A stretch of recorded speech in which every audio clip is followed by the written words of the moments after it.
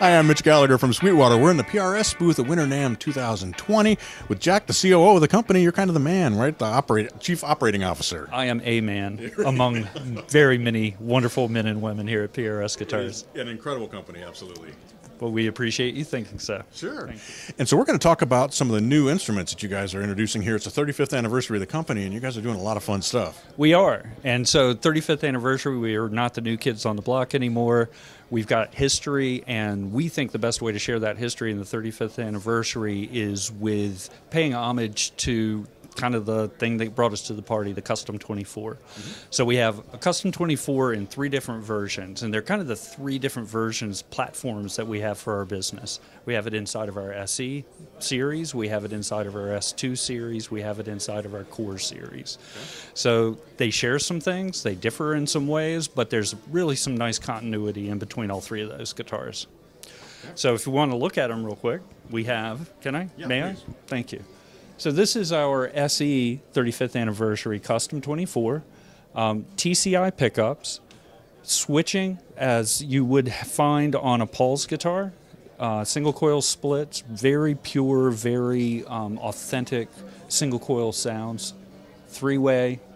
Uh, the PRS patented tremolo system, 24 frets, and on the SE, abalone inlays, which is a, a special little feature we have for SEs.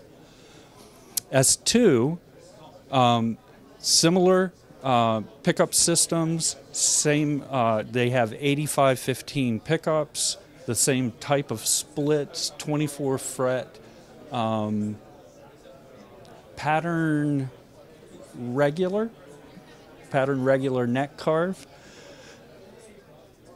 and then the thing that started the party. So the core custom 24.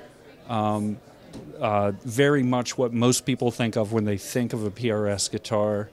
Um, 8515 pickups, the same pickup splits that we have for the single coils, same three way, same uh, configuration with volume and tone. Right, and these are designed to be players' guitars. That's what I've always loved about the designs that PRS has come out with. Is they're designed for inst- musicians to play. They are. Um, they're eminently usable instruments. We are musicians. We want to provide the world of guitar players with a tool that they can really use. So we sweat the details, no matter what the level is.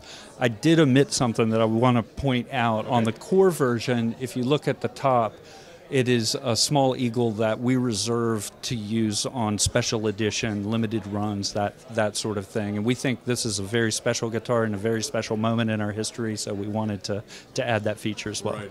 So special for the 35th anniversary year. Yes. These instruments that are classics, certainly they're maybe the classic of the PRS line with the, the new versions of them that are special for this year. If you want one, be sure to check these out. You're going to want to grab one. Cool. Thanks, Jack. Appreciate it. Yep. Thanks for joining me here in the PRS booth.